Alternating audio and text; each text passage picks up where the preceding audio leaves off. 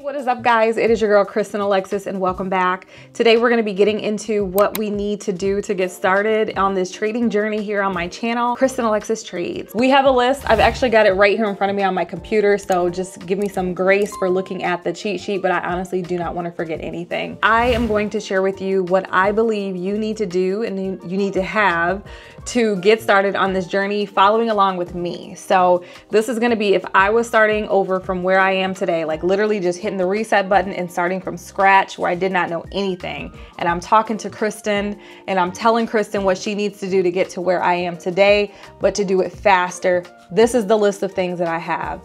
You do not, and this is my disclaimer, you do not have to do everything in the way that I say it on this list because this is your life. This is your trading journey. So, however you choose to approach this is up to you. However, this is how I would do it. So, for those of you who may disagree or may feel like there's another better way to do this, you can do that that way for yourself, or you can tell other people on your channels and wherever you're doing it and talking how to do it. But this is how I would tell Kristyn to start if I was talking to Kristyn and basically giving the cheat sheet on everything I know to get to where I am today. So I had to break that down really quickly just so that I can kind of give you guys some perspective as to where I'm coming from. The first thing I think you really need to do and figure out is where are you going to chart? I use TradingView. I've used TradingView for a number of years. I actually started in Webull, which was a free application. So you can definitely start there Webull is a great, great, great um, charting tool.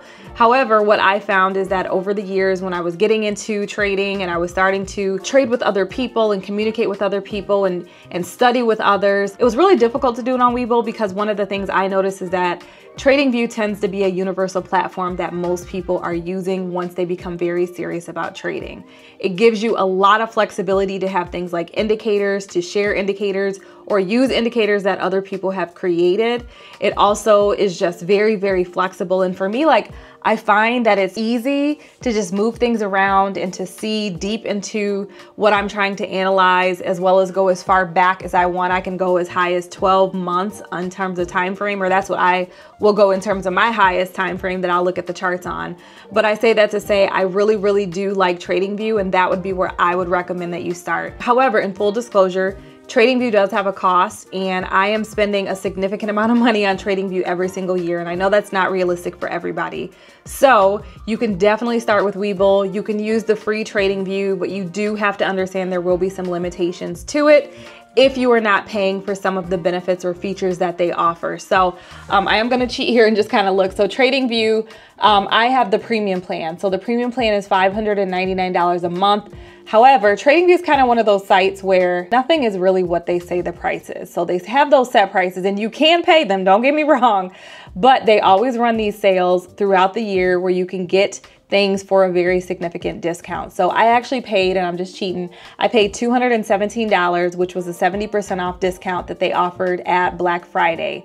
Every single year, Black Friday, they offer their best sale of the year. So for me, that is when I will renew and will go ahead and get back signed up for my plan for another 12 additional months.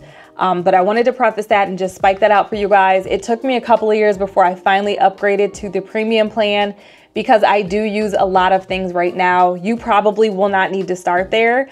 I'm assuming you could go with one of the cheaper plans and they do have it where you can pay monthly or you can pay all at once. I like to just pay it all at once up front, just make it easier for myself. But I did want to give you guys those costs so you kind of understand what I am paying for the plan. And then I do also have a couple of real-time market data that I also pay for. So I've got the NICE NYSE, the New York Stock Exchange, which is $3 a month. I pay for ARCA, A-R-C-A. Um, the NYSE ARCA is an additional $3 a month. I also pay for NASDAQ, which is another $3 a month. So that's a total of $9 there. I pay for CME, CBOT, C-O-M-E-X, N-Y-M-E-X, and those are $7 combined. So that's a total of, I believe, $16 if I'm not mistaken for all of those real-time data that I have. I also have CME Globex, CBOT and NYMEX would come with the which come with the premium plan. So I don't pay for those last three, but I did want to just spike this out because if you do use them without paying for the real-time data, you're going to be on a delay where you can't see the candles as they print. You have to wait for them to show up a little bit later. So that's just, you know, a way that they kind of get you where you're paying additional monies to get that that real-time data. And I have to have the real-time data for my trading because I trade based on time. So time is a very important aspect of my trading plan, which you guys will see once we get into it, okay? Um, the next thing is you're gonna have to pick a broker. The broker piece is probably gonna come a little bit longer or further out for most of you if you're brand new. I would definitely recommend if you are absolutely brand new, do not put any money in the market to do anything that I am talking about unless you're going long term and you're just putting money there and you just plan to leave it there. Do not start day trading, swing trading until you give yourself at least six months to learn this and probably going to be a year for a lot of you. And I just, I, I think you should very, take this very seriously. I do not want you to be blowing your accounts. You should be paper trading and getting your strategy down and making sure you can do it in your sleep before you start applying real money. And then when you apply real money, take it slow because you really need to start to build the emotional aspect of trading as well. But we're gonna do paper for at least six months so that you can get into the mechanics of it, just like riding a bike. Okay, we gotta get the riding the bike down, we gotta get the feet on the pedals, know what we're doing, get used to the simulator, just like if you were learning how to drive a car. I learned on a sim, or if you were learning how to go to outer space, okay, astronauts are gonna learn on a sim. So I need you to learn on a sim as well. Some people don't like the idea of sim, and that's okay. But if you're gonna learn from me and we're gonna study together, we need to be doing sim and I still do sim in addition to my real stuff. I usually will save sim for when I feel like it's low probability conditions. So I do it for different reasons, but I do also practice any methodology or anything I'm learning in sim before I take it live to my live monies and my live chart. So we gonna use Sim over here. And if you disagree with it, again, you can go talk to your community about it. But over here on Kristyn Alexis Trades, we're gonna be talking about Sim. We're gonna be talking about using paper trading just to make sure that we have everything down and we know how to ride that bike before we get started with live monies, okay? But if you are ready and you have that experience and you've proven yourself profitable, I like to use Robinhood for my brand new traders. However, I will say for me personally, I'm not parking a lot of money over there. My small account is over there. I build up that account and then move that money over to my larger accounts and I play with different strategies and just kind of challenge myself to see how fast I can build that account over in Robinhood. So I use Robinhood for a small account only. I do not put my big money there. I play with my big money over in Schwab. And I, I say play, I don't play, but I, I trade with my big money over in Schwab. So I have several accounts in Schwab. Started with TD Ameritrade I've never had any major issues. I have had issues and we can talk about that a little bit later. But overall, in terms of brokers, I do like them. They're reputable. I can always get somebody on the phone. If I ever have an issue with the trade or I'm locked out, I can call them. They can handle it for me, take care of things. And I and when I have had challenges with my trades, there have been times where they have refunded the money for the trade if it was an issue on their end. So I like Schwab. I feel like they're reputable, they're trustworthy, and I feel comfortable with my money being over there. As well as I do encourage you to make sure you look at the limits based on the insurance of whatever broker you're picking. So you understand what the maximum amount of money you want to have sit there. And also so you understand what the risk is if anything should ever happen, God forbid, knock on wood, where they have to basically have their insurance kick in and refund anybody due to an issue. So I just wanted to also mention that. I do want to really quick go back to Robinhood and talk about one more thing I forgot to spike out. With Robinhood, they actually send the trades through a third party and then it hits the market. So there's a little bit of a delay at times with your order processing. I have definitely found there's a difference between when I trade on Robinhood and when I trade with Schwab. With Schwab, I put an order out there and it transacts like that. Robinhood, sometimes they will sit for a second and then the order will be fulfilled. So I just wanna make sure you understand that definitely get comfortable with it because you've got to kind of get comfortable with that delay and how you're going to place your trades, your limit orders to make sure you get the maximum amount of money for every single trade as possible. And I do have little techniques I use to ensure I get the maximum amount of money and I get taken out of the trade in time because sometimes these trades when I'm day trading, I need that, I need to be able to get in and get out very quickly, okay? So that is basically the details of the brokers. Um, there's one last broker I do wanna spike out for you real quickly and that is Webull.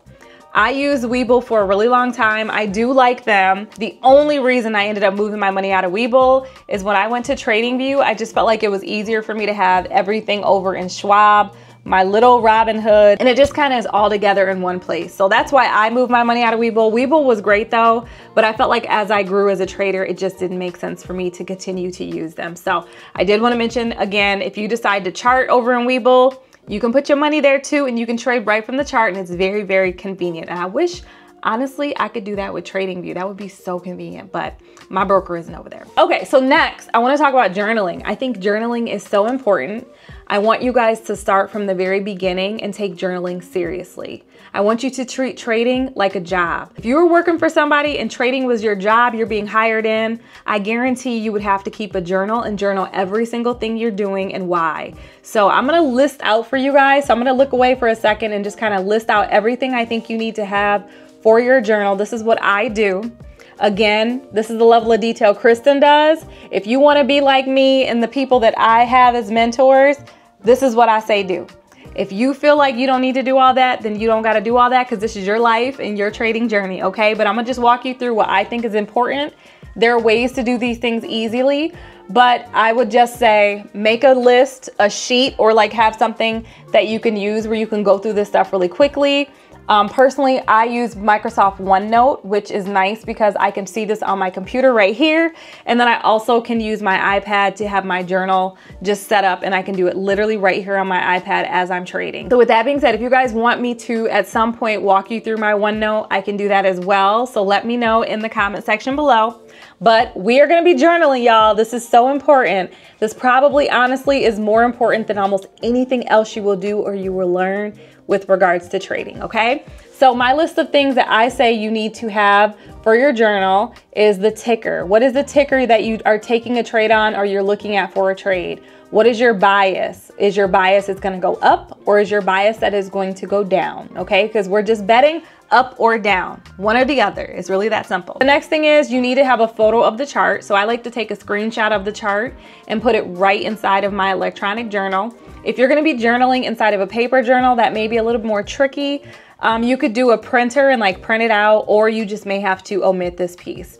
The next piece is I would definitely mark what your entry was, what your stop loss was, and what your take profit was, and how you managed your stop loss throughout the trade. For me, that's something that I'm currently looking to improve upon and I'm working on. However, for you, that might be something maybe you're gonna just figure out, but you wanna think through how you're going to manage your trades as well as just kind of talk through what you did and how you improved upon that as you were going through the process. The next thing I think is really important for you to journal is your mood. I'm in a group and in the group, this gentleman had shared his trading journal, like a picture of his journal, and he had mood in there. And he actually had this whole section dedicated to his mood.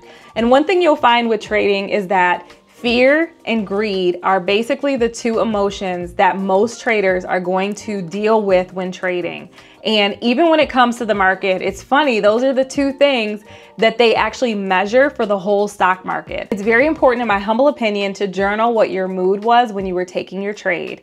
Did you feel happy, excited, scared? Did you feel no emotion at all, just totally neutral? Were you nervous? You know what I mean? Like, I think that that's important to reflect upon so that you can try to improve and try to get to a place where you are totally, totally neutral when it comes to the trade. I also think it's important for you to reflect upon the trade. Was it a good trade? Was it a bad trade?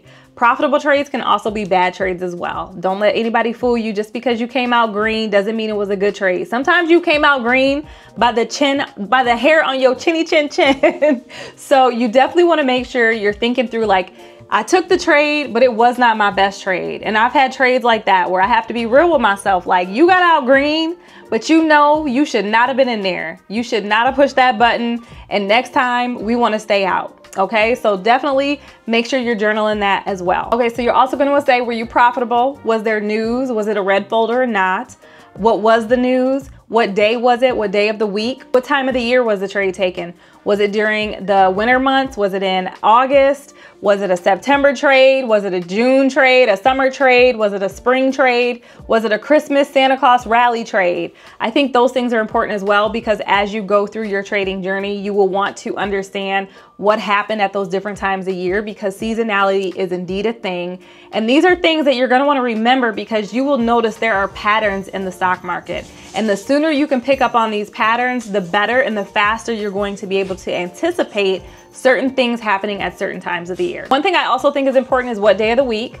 Michael teaches us to understand weekly profile and day profiles. There are profiles we can use to anticipate how the candle is going to form for the day or the week. Michael has this thing all the way figured out where you can basically try to anticipate which day is gonna be the high of the week and which day is gonna be the low of the week.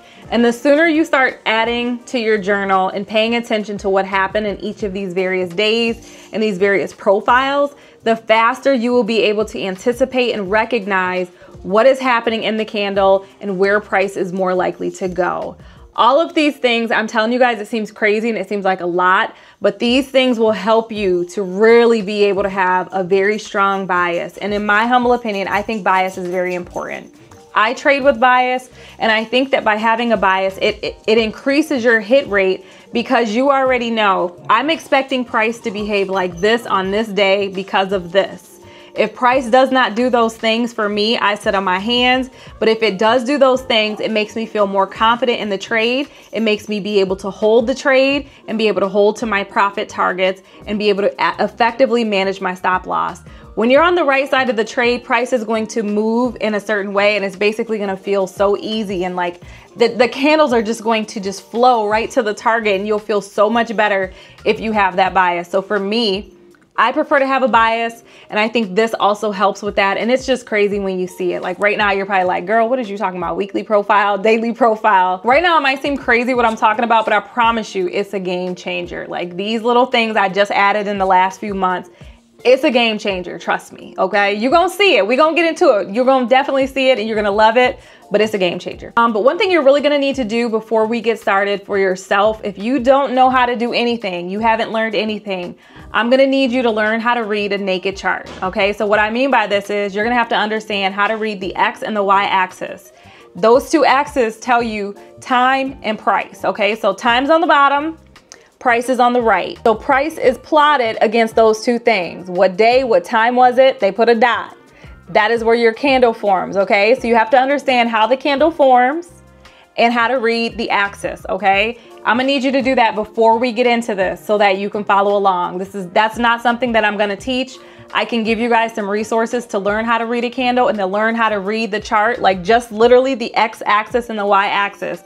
But I'm gonna need you to do that before we get started, okay? If you're brand new, it's not terribly hard, but you will have to learn. But I will give you some videos in the, the little description box below where you can go and you can learn that. I also need you to understand what the candle means. What does a green candle mean and what does a red candle mean? You don't need to go any further than that, but I need you to understand the difference. There's two more things I want you to understand before we get started. Liquidity at a very high level. What is liquidity? Where can you find liquidity on the chart? You need to, as homework, be able to identify liquidity. And I'll give you a hint, it's in the wicks, okay? But I need you to understand how to find liquidity on the chart. And I also need you to understand how to identify a fair value gap on the chart. I will provide you resources for those two things. I will find some videos to put in the description box. I will not publish this video until I find something that can help you with that. But I need you guys to learn those two things. How to identify liquidity and how to identify a fair value gap. All right. I also have some resources I'm going to put in the description box as well for you. These are things I refer to throughout the month. I use some of these weekly, some of these I refer to daily, but I definitely think these are some really great resources you're going to want to save. I have them bookmarked inside of my Internet Explorer so I can get to them pretty easily. I actually have a whole folder called like stock market or something like that. But the first one is you're going to need the calendar for the week. So this is the news calendar.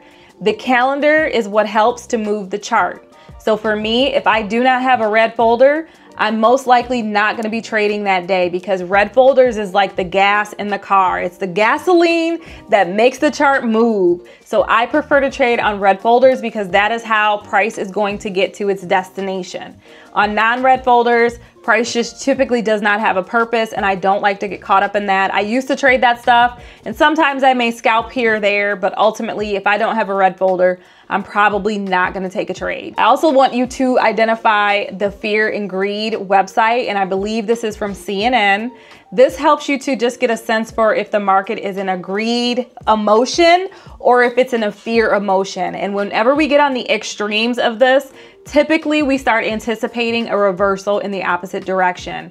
It can sit in fear or greed for a really long time. So it's not just because you see we're on one side of the spectrum, you're not gonna get in a trade. That is absolutely not what I'm saying. But what I am telling you is it's important to understand where we are because you may be more cautious in taking certain types of trades if you understand that we are in extreme fear right now. So you may not be wanting to buy additional new puts in extreme fear or when you're in extreme greed is not the time to be buying leaps, okay? So these are just things I want you to start to think about, get comfortable with, what it means, where we are at the current time. And I will give you links to all of these things, all right?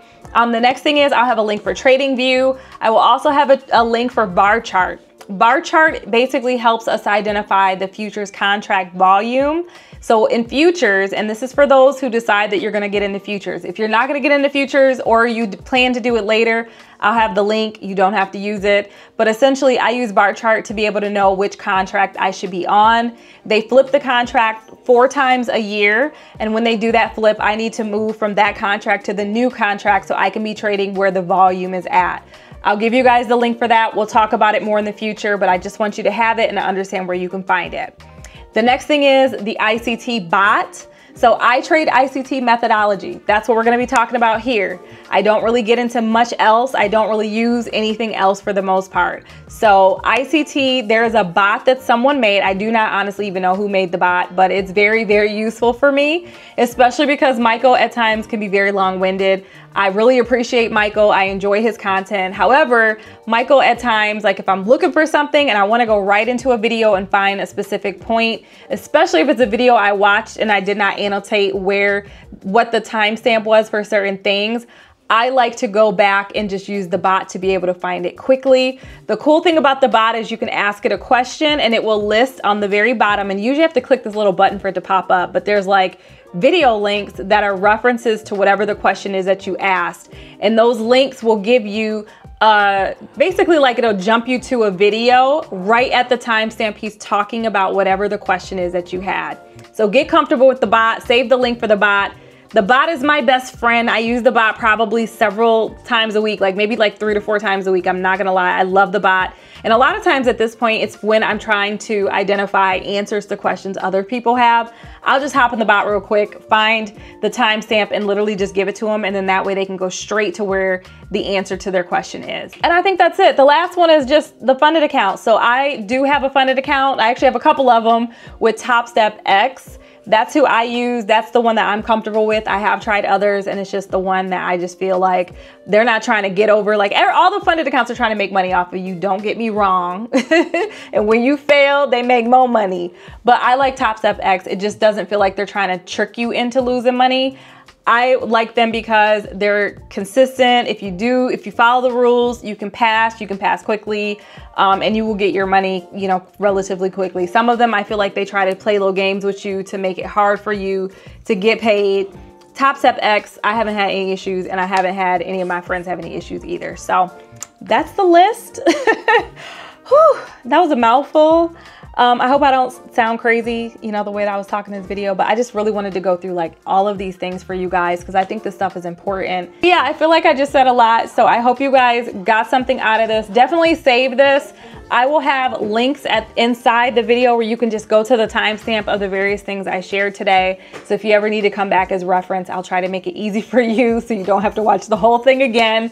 But if you have questions, please comment below. I will be very responsive to questions on this channel. I am on my big channel too. No matter how many people are over there, I still answer them questions. But over here, we're gonna make sure y'all get what y'all need. So if you have any questions, let me know. I want you to be successful. I want this for all of you. And I learned from Michael, he did not charge us to learn. And I just feel like, what can I do but help pay it forward and be a study buddy with you as well and just others out there who are trying to navigate the stock market, get into it, but don't know where to start. So I'm gonna be your buddy. I'm gonna help you with that. But the only thing I'm just gonna ask of you guys is take this seriously. Do not expect me or anyone else to spoon feed you. You have to take ownership for this for yourself, okay? I want you to be successful, but I need you to also make the effort.